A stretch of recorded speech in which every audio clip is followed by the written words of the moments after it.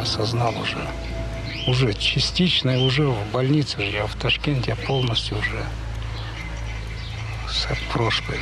Ассаламу алейкум, братья и сестры. Наверное, вы знаете такого серийного убийцу Николая Джумагалиев. На самом деле он держал в страхе всех жителей Казахстана, Кыргызстана, Узбекистана и России на протяжении нескольких десятков лет.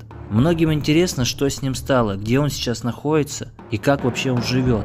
Я вам все это расскажу, но для начала я перескажу предысторию. Вообще, в конце 90-х годов прошлого столетия жители бывшего Советского Союза содрогались от новостей о маньяках, которые разгуливали по стране. Туда же можно отнести и Николая Джумагалиева. Окончив 9 классов, он начал работать в Гурьеве, нынешний Атырау, а затем ушел в армию. После череды неудачных попыток остаться в разных городах Союза, он вернулся в родной Узунагач, где и началась его кровавая история. Первой жертвой Джумагалиева стала прихожанка церкви. Кстати говоря, после этого убийства его прозвали «Железный клык». Он схватил девушку неподалеку от трассы Узанагач Майбулак, перерезал ей горло, выпил ее кровь, расчленил ее тело и положил в рюкзак. Часть жира девушки мужчина растопил, а остальное ел как сало. Ребята, он сам все это рассказывал, я просто не хочу вам выносить все подробности. К слову, добавлю еще вот такие его слова.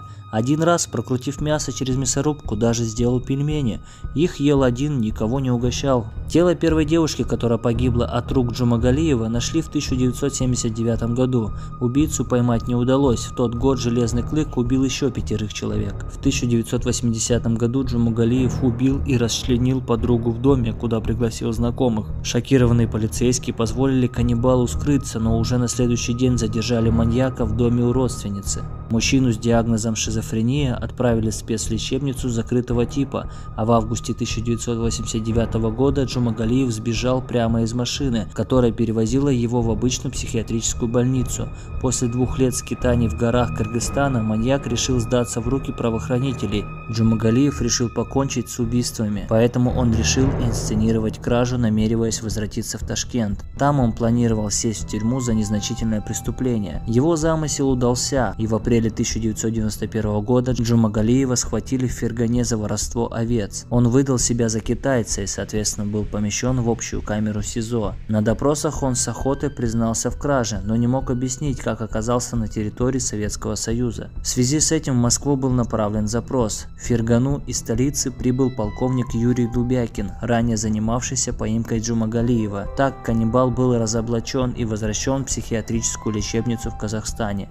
В настоящее время Николай Джумагалиев изолирован от общества и находится в специализированной психиатрической клинике, огороженной колючей проволокой в поселке Актас, Алматинская область. Там он занимается ремонтом мелкой техники. Однажды Джумагалиев подал прошение о смертной казни, но это было расценено специалистами лишь как ухудшение его состояния. Вот что доктора говорят о нем. Поведение порядочное, больной спокойное, охотно работает в отделении, помогая персоналу. Оснований о его опасности опасности для окружающих у нас нет. Он спокойно может находиться в обществе и наблюдаться в обычной больнице.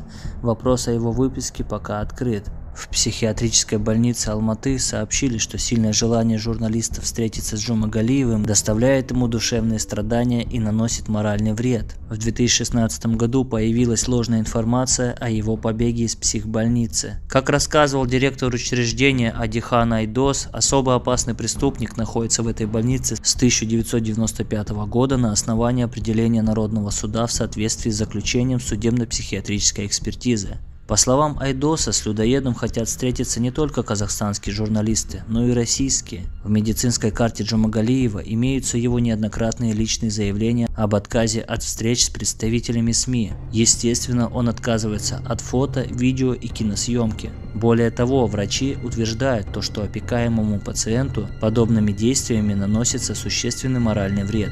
Его переживание состояния ущербности, дискомфорта, подавленности и раздражения из-за возможного раскрытия семейной и врачебной тайны как его самого, так и близких родственников приводит к декомпенсации психического состояния, срыву лечебно-реабилитационных программ. Ну что ж, ребята, пишите, что думаете. Всех уважаю, ценю. Всем пока.